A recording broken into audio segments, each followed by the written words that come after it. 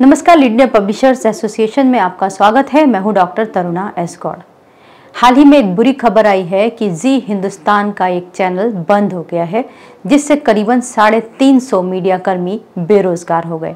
ये एक ऐसे समय में खबर आई है जब मीडिया में ऑलरेडी इतना सैचुरेशन है तो ऐसे में जो मीडिया कर्मी इस समय बेरोजगार हुए हैं, उनके सामने एक बड़ा संकट है कि अब वो नई नौकरी कहाँ तलाशें और क्या वो अब दूसरा रोज़गार करें।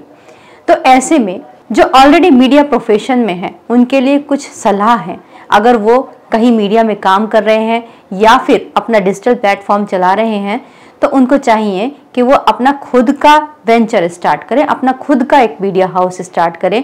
आज तो ऐसा बड़े बड़े जितने भी हमारे न्यूज़ एंकर रह चुके हैं बड़े बड़े जर्नलिस्ट रह चुके हैं, चाहे उनमें पुण्य प्रसून वाजपेयी जी हों या फिर अभिसार शर्मा हों, और अब तो खबर उड़ रही है एन एनडीटीवी के रवीश भी अब अपने चैनल पर आ गए हैं। तो सभी लोग कहीं ना कहीं प्राइवेट चैनल पर काम कर रहे हैं, अपने पर्सनल चैनल पर काम कर रहे हैं। तो इसमें भी एक प्रोफेशनल तरीका है जो कि आपको करना चाहिए। अगर आप मीडिया में काम कर रहे हैं तो भी, और अगर आप मीडिया में आना चाहते हैं तो भी। तो आप मीडिया में जो शुरुआत अगर करना चाहते हैं तो आप वेबसाइट के माध्यम से भी कर सकते हैं, क्योंकि वेबसाइट एक बहुत ही सस्ता और बहुत ही फास्ट माध्यम है। इस पर आपको दोनों तरह की खबरें देने की सुविधा रहती है। आप इस पर वीडियो भी डाल सकते हैं और टेक्स्ट न्यूज़ भी डाल सकते हैं।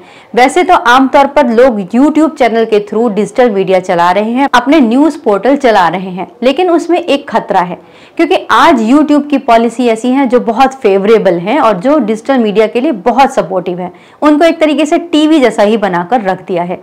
लेकिन कल न जाने ये पॉलिसीज़ क्या हो तो ऐसे में एक ऑल्टरनेट सोर्स ज़रूर डेवलप करके रखना चाहिए, वो एक वेबसाइट हो सकती है। क्योंकि वेबसाइट आपकी प्रॉपर्टी की तरह होती है, इसे आप अपने नाम में बुक करते हैं डोमेन परचेस करते हैं होस्टिंग परचेस करते हैं और जब तक आप चाहते हैं इसको रन कर सकते हैं। और इसकी साथ ही साथ खासियत ये भी है वेबसाइट चलाने के फ़ायदे ये भी हैं कि आपको इस पर गवर्नमेंट की तरफ़ से एडवर्टीजमेंट भी मिल सकते हैं। अगर आपकी वेबसाइट एक या दो साल पुरानी है तो आप स्टेट गवर्नमेंट पॉलिसी के अकॉर्डिंग या फिर सेंट्रल गवर्नमेंट पॉलिसी के अकॉर्डिंग अपनी वेबसाइट का इम्पैनलमेंट भी करवा सकते हैं और साथ ही साथ उसमें आप सरकारी विज्ञापन ले सकते हैं और प्राइवेट विज्ञापन भी ले सकते हैं। इसके अलावा कई राज्य तो ऐसे हैं जो वेबसाइट के जो पत्रकार हैं या एडिटर हैं उनको एक्रेडिटेशन भी दे रहे हैं। एक्रेडिटेशन यानी कि मान्यता। मान्यता जो है पत्रकारों के लिए काफ़ी एक इंपॉर्टेंट चीज़ होती है तो वो मान्यता भी डिजिटल प्लेटफॉर्म के वेबसाइट के पत्रकारों को अब मिल रही है। तो ऐसे में अपनी इनकम का, अपने रोज़गार का एक ऑल्टरनेट अगर आप जनरेट करना चाहते हैं तो वो वेबसाइट हो सकती है। वेबसाइट बनवाने से पहले कुछ चीज़ें ध्यान रखनी चाहिए, जैसे आप जिस भी कंपनी के सर्विसेज़ हायर कर रहे हैं वेबसाइट बनाने वाले की तो आप ये ध्यान रखें कि आ, उसका कहीं ना कहीं ऑफिशियल पता आपके पास ज़रूर होना चाहिए। अगर आप अपने किसी जानने वाले व्यक्ति से वेबसाइट बनाते हैं तो ज़्यादा अच्छा होता है क्योंकि वो हमेशा आपके संपर्क में रह सकता है। क्योंकि बहुत सारी कंपनियाँ वेबसाइट बनाने की खुली हुई हैं वो आए दिन खुलती हैं और आए दिन बंद हो जाती हैं।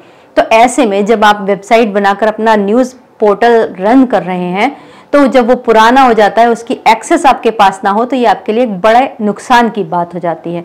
तो आपको ध्यान रखना है कि हमेशा आपके पास में आपकी वेबसाइट का कंट्रोल पैनल ज़रूर होना चाहिए। उसका लॉगिन आईडी पासवर्ड ज़रूर होना चाहिए, जिससे कि आप उसे हमेशा रिन्यू कराते रह सकें।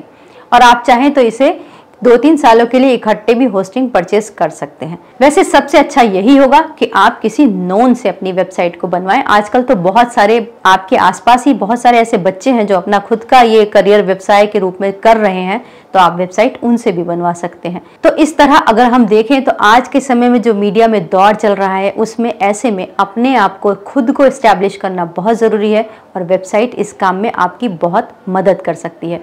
उम्मीद करते हैं ये वीडियो आपके लिए उपयोगी होगा। अच्छा लगे तो इसे लाइक कीजिएगा शेयर कीजिएगा और सब्सक्राइब भी कीजिएगा। वीडियो देखने के लिए बहुत बहुत धन्यवाद।